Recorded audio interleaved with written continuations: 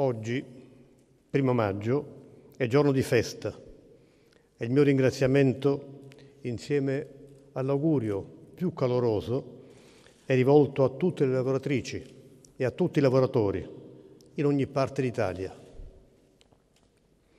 La festa deve risvegliare speranze e impegni condivisi, ma per farlo deve fondarsi su parole sincere. Soltanto così contrasteremo la sfiducia.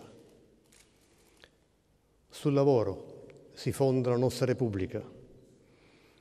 Tuttavia, proprio mentre affermiamo questo principio con convinzione, avvertiamo come una ferita lacerante nel corpo sociale e nello stesso tessuto democratico del Paese la cifra così alta di nostri concittadini che non trovano occupazione, che sono stati espulsi dal processo produttivo, che lavorano saltuariamente nella precarietà, non riuscendo così a vivere con serenità con i propri familiari.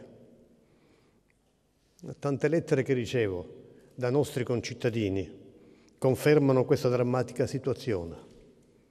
Padri, madri, talvolta nonni, non chiedono nulla per se stessi, non lamentano i forti sacrifici cui si sottopongono per aiutare economicamente figli e nipoti.